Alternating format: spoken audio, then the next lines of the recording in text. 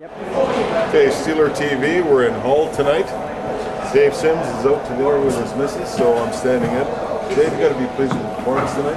Yeah, I thought we played well. Uh, it kind of looked like the, the, the old Steeler team. We were very sound defensively, and you know, apart from Randy Dajane, I thought everybody played a pretty strong game. Uh, still coughing the puck up, making turnovers, his plays in the offensive zone, but you know, it's uh, something that uh, we're gonna have to work out.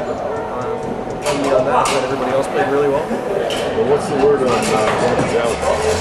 Uh, still gonna, it's just going to be day to day for us. I hope to see him in Wednesday. Uh, it's a question mark, but you know it's not going to be a long term injury, just short term. So how did Danger play tonight? Not very well. Well, Jody had another outstanding game, another shutout. Uh, he played great. I look like I like rolling in rolling in the Belfast on Wednesday with the, the flamer playing like he did tonight. But uh, you know it's it's good.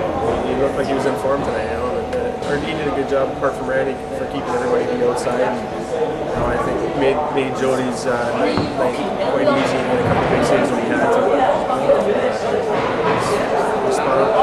And, uh, Brad had another fight tonight. Started the game off the first line. He's got to be careful. The fans are going to be calling on him.